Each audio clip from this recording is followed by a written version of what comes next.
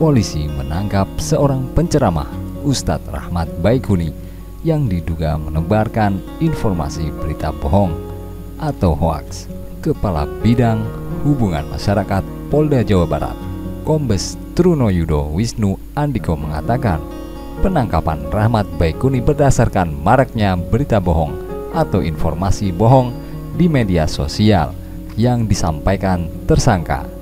Ada dua video yang menjadi fokus penyidikan kepolisian terhadap Rahmat Baikuni, yakni informasi yang diberikan oleh akun Twitter @narkosun terkait video yang berdurasi 2 menit 20 detik. Video ceramah yang diduga orang di dalam video adalah Rahmat Baikuni. Dalam video tersebut, Rahmat Baikuni mengatakan, "Bapak Ibu, boleh saya cerita Bapak Ibu? Seumur-umur pemilu dilaksanakan jujur. Boleh saya jujur? Nggak apa-apa ya. Bapak-bapak ada yang sudah senior. Nggak sebut sepuh karena berjiwa muda. Seumur-umur kita melaksanakan pemilu, pesta demokrasi, ada tidak petugas KPPS yang meninggal? Tidak ada ya? Tidak ada. Tapi kemarin ada berapa petugas KPPS yang meninggal? 229 orang.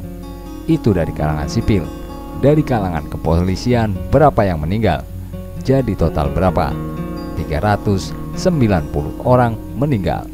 Sesuatu yang belum pernah terjadi dan ini tidak masuk akal. Bapak Ibu sekalian, ada yang sudah mendapat informasi mengenai ini, tapi ini nanti di skip ya. Bapak Ibu sekalian yang dirahmati Allah, ketika semua yang meninggal ini dites di lab, bukan di autopsi, dicek di lab forensiknya. Ternyata apa yang terjadi? Semua yang meninggal ini mengandung dalam cairan tubuhnya, mengandung zat yang sama, zat racun yang sama yang disebar dalam setiap rokok, disebar ke TPS. Tujuannya apa? Untuk membuat mereka meninggal setelah tidak dalam waktu yang lama, setelah satu hari atau paling tidak dua hari. Tujuannya apa? Agar mereka tidak memberikan kesaksian tentang apa yang terjadi di TPS. Ini merupakan suatu berita bohong dan kami sangat sayangkan sekali. Maka dalam hal ini Polda Jabar di Reskrim Sus lanjut untuk melakukan proses penyelidikan bersangkutan, kata Truno di Mapolda Jabar. Untuk alat bukti jelas kita tidak ada jejak digital dari berbagai netizen. Dari netizen menyampaikan juga keresahannya bahwasanya yang bersangkutan menyebarkan berita atau informasi bohong dan menimbulkan keresahan yaitu dengan menyebut atau berita yang disampaikan itu tambahnya. Atas dasar informasi tersebut, polisi telah membuat laporan polisi pada tanggal 18 Juni 2019.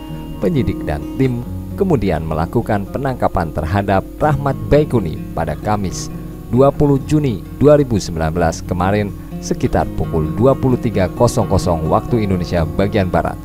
Di kediaman tersangka di Jalan Parakan saat 2 Sindang Laya Cisarenten Indah Acamanik Kota Bandung Jawa Barat. Kamis tim penyidik langsung mengamankan RB dan tadi malam melakukan proses pemeriksaan kepada RB dan kemudian saat ini proses dilanjutkan untuk dilakukan penyidikan. Katanya, bagaimana tanggapan Anda? Silakan tulis di kolom komentar di bawah ini.